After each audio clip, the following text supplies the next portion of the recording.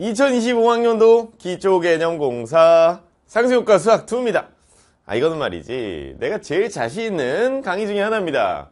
정말 여러분들 한 5분 정도만 이거 설명 들어봐도, 어? 이렇게 혁신적이라고 싶을 거예요, 여러분들. 한번 들어보시죠. 자, 오리엔테이션이니까 이 강좌 특징이 뭔지 하고 어떻게 공부하는지 자, 간단하게 말씀드리도록 하겠습니다. 따라오세요. 들어와, 들어와. 자, 특징. 첫 번째, 효율적이다. 자, 뭐가 그렇게 효율적이냐. 여러분들 깜짝 놀랄 겁니다. 수학2인데 가벼워요. 진짜 가볍습니다. 자, 뭐가 가벼운가. 자, 봐봐요. 이거 지금 이제 수투의 마지막 페이지거든요. 짜짜짠. 92페이지요. 92페이지. 여러분들 이렇게 진짜 컴팩트한 강의는 아마 없지 않을까 싶을 정도로 정말 compact해요. 근데 수능에 필요한 거는 다 들어있지. 이거 해설까지 포함해가지고 뭐 100 몇 페이지예요. 그래서 교재도 얇고 교재 사이즈 자체가 그 A4 사이즈가 아니라 작은 사이즈잖아요. 그래서 정말 가벼워요. 선생님이 항상 강조하는 게 있어. 시작은 compact하게.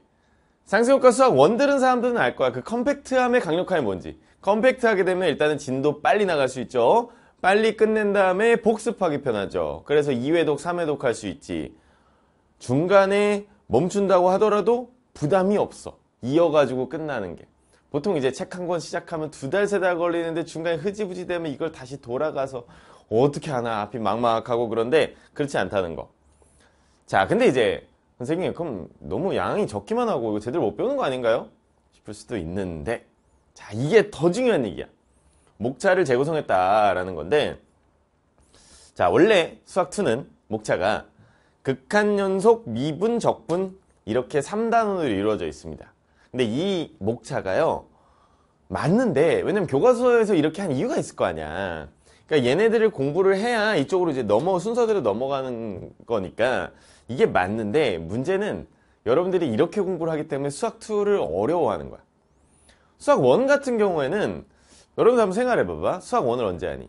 고등학교 2학년 1학기 때 하잖아. 그러면 그 고등학교 2학년 1학기 전에 뭐 고1 겨울방학이나 이럴 때 수원을 열심히 합니다. 아지, 아, 고2 올라가니까 나도 열심히 해야지. 이렇게도 하고, 그 다음에 이제 또 수능 시험범이니까, 이게 수학 원이라는 게 아무래도 좀 열심히 하는데, 그러다 보면은 이제 수학 2를 제대로 못해요. 그 수학 2를 미리 공부하지를 잘 못하고, 대충 공부를 하다가, 이제 고2 여름방학 때 후다다닥 막 공부를 하는데, 문제는 뭐냐면은, 이 파트가 제대로 공부하려고 그러면은 상당히 어렵다는 거. 상당히 어려운 게건 둘째 치고 재미가 없어. 이 극한과 연속이라는 것은 그냥 식 계산이라던가 뭔가 되게 새로운 것들 되게 이상해. 막 문제만 벅벅 풀고 있는데 뭔지 하나도 모르겠는 거야. 근데 이게 지금 이제 전체 3분의 1이다 보니까 이거를 하다가 이제 이쪽으로 넘어가야 되거든, 결국에는. 수트의 핵심은 미분이야. 미분.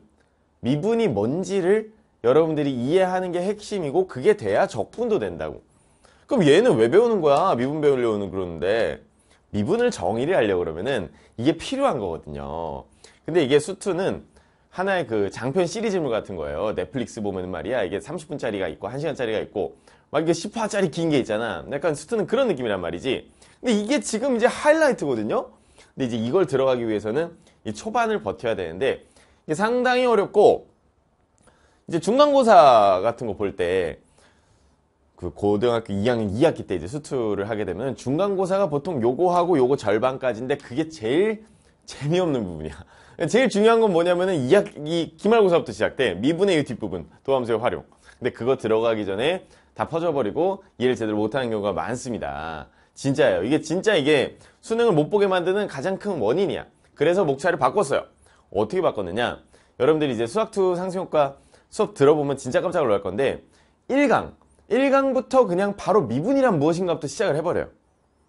근데 그러면 선생님 얘를 모르는데 얘를 배울 수 있나요? 그걸 배울 수 있게 선생님이 재구성을 한 거예요. 그래서 이 상승효과, 기초개념공사의 가장 큰 특징, 캐치프레이즈가 뭐냐면 맥락을 이해한다는 거예요. 맥락과 흐름을 이해하고 그 흐름이 딱 잡히면은 와 이게 뭐구나 왜 배우는구나 얘를 얘를 하기 위해서 얘가 필요하구나 이해가 된단 말이야 그 이해가 되는 과정이 쫙 가게 되면은 그 다음에 계산 같은 거는 하나도 어렵지 않거든요. 수학2는. 그 맥락을 잡아주기 위해서 구조가 바뀝니다. 처음에 함수의 극한 같은 거 어려운 거 하나도 안 해. 미분을 이해하기 위해서 딱 필요한 것만 해요. 그리고 나서 미분이라는 게 결국 도함수 구하는 거기 때문에 도함수를 이용해서 뭘 할 수 있는가 활용. 이 단원이 사실은 이 미분 안에서 핵심이고 수투에서 핵심이에요. 그래서 요걸 가지고 뭘 할 수 있느냐. 근데 수1에서의 활용보다는 수2 활용이 훨씬 더 어렵거든. 그래서 요 파트가 가장 중요한데 일단 요것도 맥락 이해하는 거. 이게 도대체 뭐냐. 그리고 나서 연속과 미분 같은 가는 경우에는 요 단원에서 시험에 자주 나오는 것만 포인트로 따로 뽑아가지고 좀 더 실전적이면서도 쉽게 다루고 근데 이게 지금 여기도 들어있고 여기 막 섞여서 들어있으면 어렵기 때문에 여기서 따로 빼고 여기서 따로 빼가지고 실전적으로 배우는 거예요. 자주 나오는 포인트. 그 다음에 적분과 수직수 운동. 이렇게 연결이 됩니다. 이게 진짜 여러분들 혁신적인 내용을 만들어냅니다.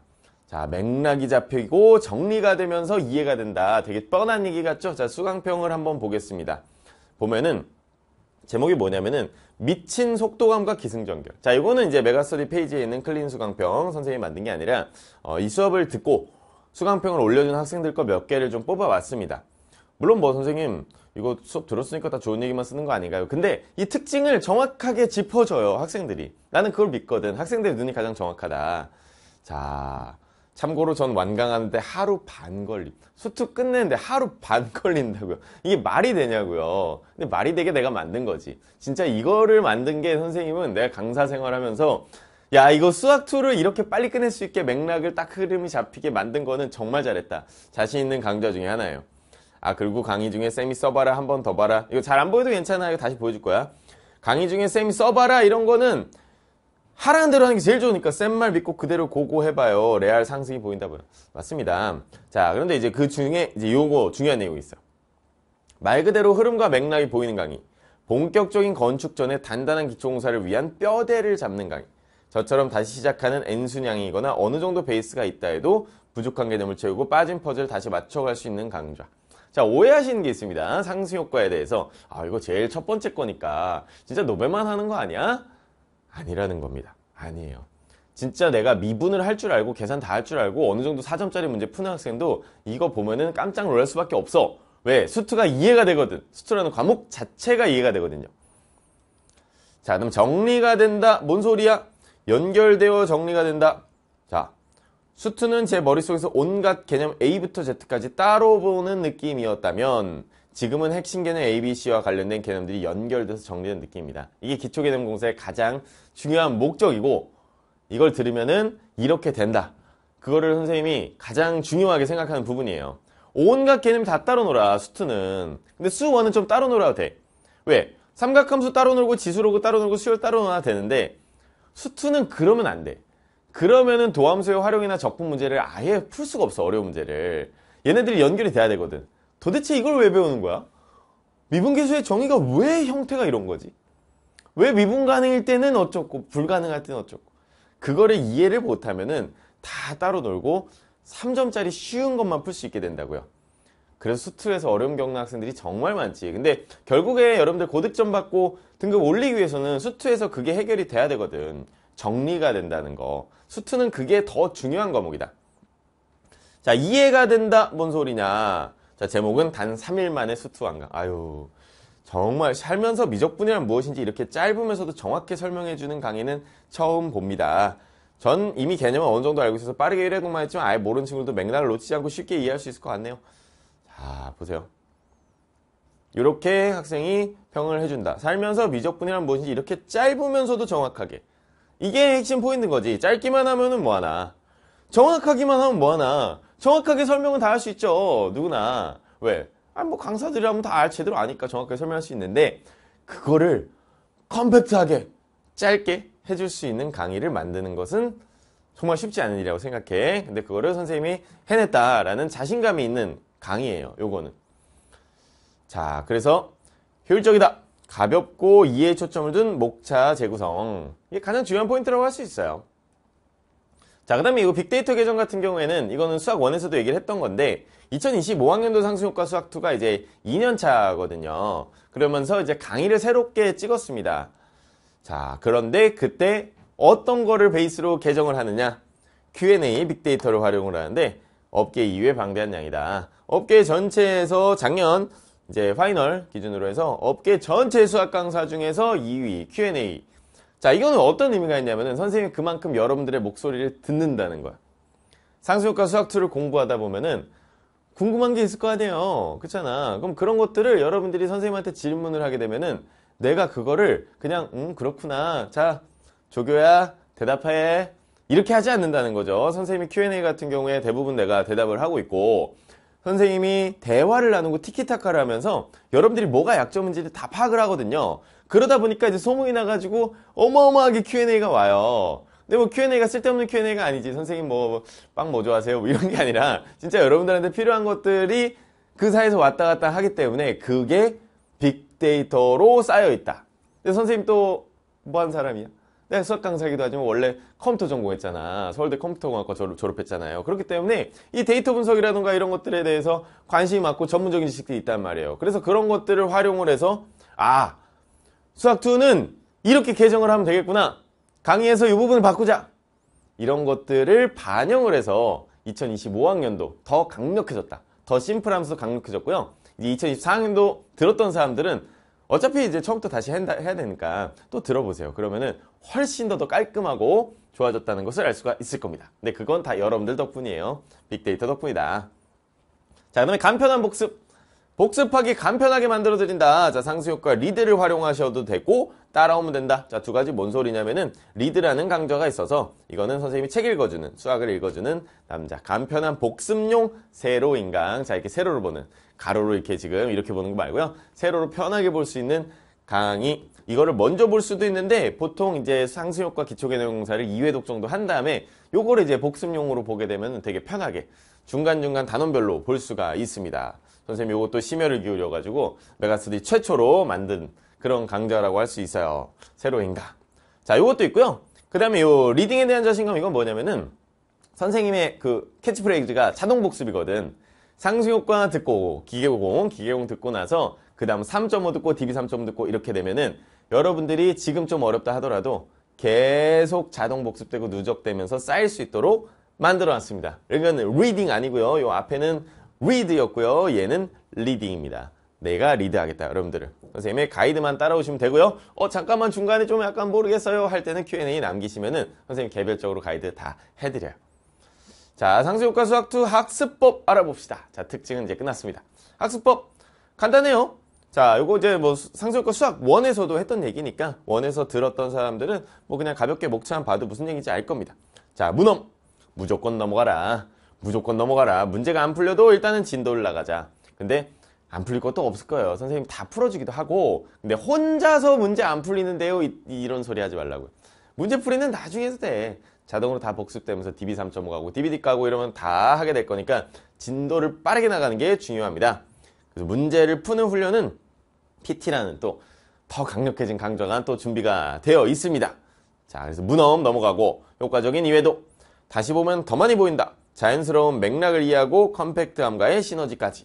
자, 컴팩트하기 때문에 두 번, 세 번 보는데 부담이 없거든. 뭐 하루 반 걸렸다, 3일 걸렸다, 길어야 뭐 5일 걸렸다 이런 건데 다시 보면 더 많이 보이기 때문에 2회도까지는 하는 것을 강력하게 권장한다. 자, 그리고 Q&A 활용하는 거 친절하고 자세하게 답변은 이거는 뭐 해보면 알 거야, 여러분들. 인간 Q&A가 이럴 수가 있나 싶은 그런 경험을 여러분들이 하시게 될 건데 그거는 선생님은 그냥 내 마인드가 그래. 내 인강을 하더라도 여러분들 한 명 한 명을 잘 챙기고 싶은 거예요. 뭐 내가 그렇다고 해서 뭐 100만 명을 가르치는 것도 가르치는 것도 아니니까 아무리 힘들어도 내가 잠을 좀 못 자도 여러분들 질문 하나하나만큼은 내가 직접 보면서 여러분들의 문제점이 뭔지를 해결해 주고 싶다. 뭐 그러다 보니까 이제 초장문에 막 답변을 막 쓰게 되는데 여러분들 한번 경험해 보시면 아 그렇구나 장난 아닌데 싶을 거예요. 그래서 학생별로 맞춤 가이드를 하고 있다라는 거. 자, 요게 이제 교재죠. 선생님 시그니처 이 상승효과 화살표 상승효과라고 하는 것은 서로 상자 오를 승자. 원래 단어의 뜻은 시너지인데 여기 보면은 이승효의 상승효과. 선생님 이름이 승효니까. 어, 그거를 따가지고 선생님 커리큘럼 이름이 이승효의 상승효과죠. 상승효과 수학2 교재는 빨간색 핑크색으로 이루어져 있습니다. 자, 안에 보시면은 굉장히 자세하고 친절하게 서술이 되어 있어요.